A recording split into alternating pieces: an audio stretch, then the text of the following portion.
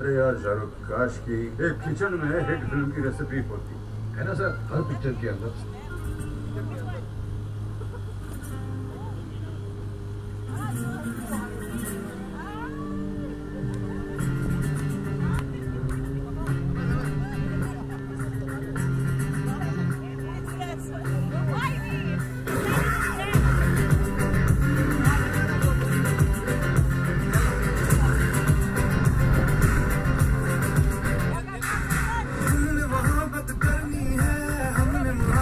की है। इसके अलावा किसी से भी ना